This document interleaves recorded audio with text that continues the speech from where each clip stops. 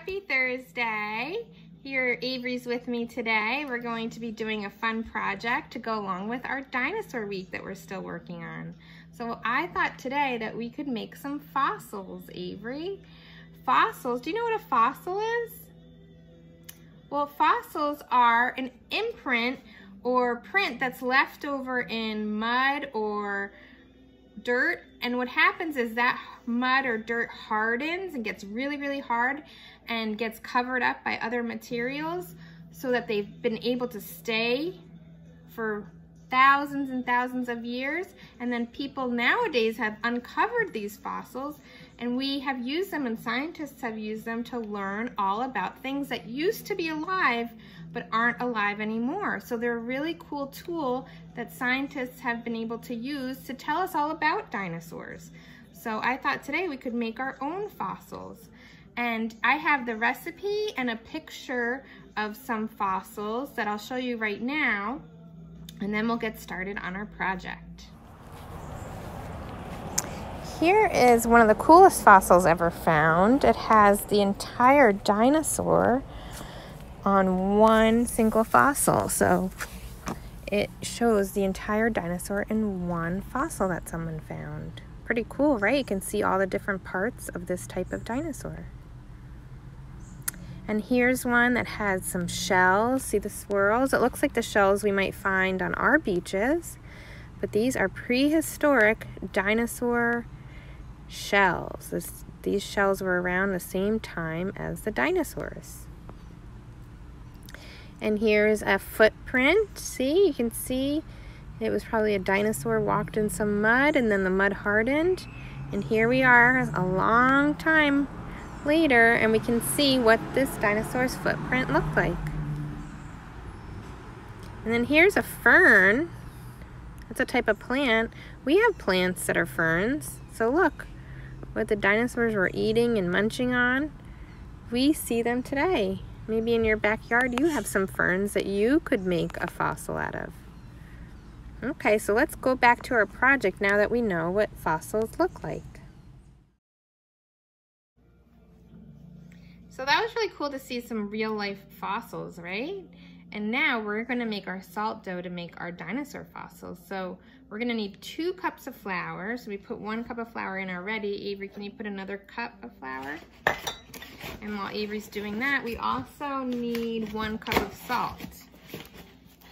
So when you're measuring, you're gonna make sure you measure all the way up to the top. So we're gonna put in the salt, and it's gonna go to the top.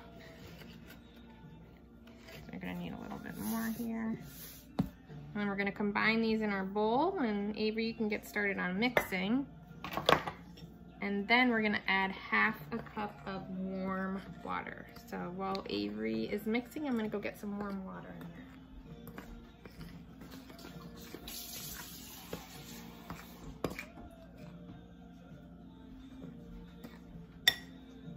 Okay, so I have our water, so I'm gonna pour it in, and we're gonna keep mixing while we pour.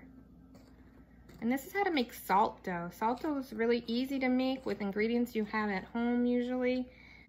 So you can use it for ornaments, you can use it to make all kinds of things. So we're gonna mix that in really, really well, and then we'll get started. So friends, we're mixing our salt dough here. Before I said you don't have to bake it, you actually do. So we're gonna set the temperature to the oven to 250 degrees. and they're actually gonna bake for about an hour until they're nice and sturdy. So we have our salt dough here. Now we're gonna take a ball of it. So to make a ball, you take some in your hand and you smush it together and you're gonna roll it, roll it, roll it. And then you're gonna flatten it out and it looks like a little cookie. If you have a circle cutout, like a cookie cutter, you can also use that. But with fossils, and they come in nature, they're usually not perfect. So I'm just gonna make our balls kind of wonky. Now, if you have plastic dinosaur figures at home, you could put their feet in it, or you can lay them down on the side. I'll show you what I'm talking about right now. So here I laid the dinosaur down on its side and left some little footprints. Avery, what are you gonna do? Lay it on its side. And then you're gonna lift it up and you're left with... Oh, it's sticking. Okay. You're left with the imprint of the dinosaur. I have to push mine in a little bit more. And if the dough is a little too sticky that it's not leaving a nice imprint, you can add some more flour. So let's add a little more flour to ours and then we'll come back and make a couple. Okay, so we added a little bit more flour to our salt dough. So you can always do that. If it's getting too sticky, you add a little bit more flour. So we're gonna make our balls again. Smush them down so it makes a little flat ball. And then you can take your dinosaur piece and either do it on its side and it leaves an imprint. It looks like a little fossil, or you could do some footprints. You can see the little footprints, and then you're gonna put it on a cookie sheet with some parchment paper underneath if you have it, or some tin foil. So, Avery, that one looks cool. You wanna show them that one? Cool. All right, let's make a couple more. And you can, if you have a straw, you can even poke a little hole in the top to make an ornament, or you can hang it up in your room. So here's another one. I also found a piece of a fern, because a lot of times they would find fossils of plant material. So let's see how this comes out. Hmm, you can kind of see it.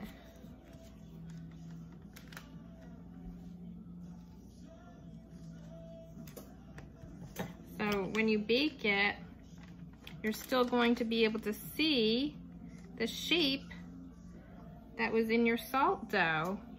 So it's gonna be like your own little fossil that you made. The other thing you could do is a shell.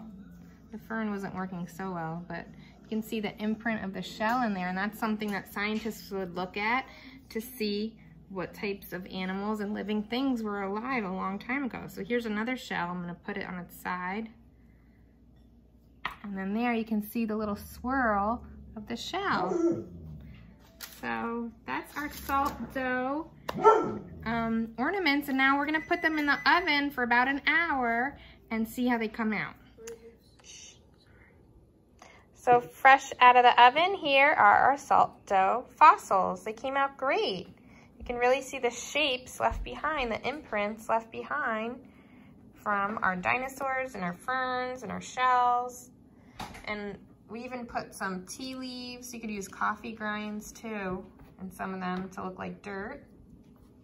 And it really came out great. So I hope you guys have fun making your fossils. And for now, we're gonna say bye from Avery and I. Hope you have a great day. Bye. Bye.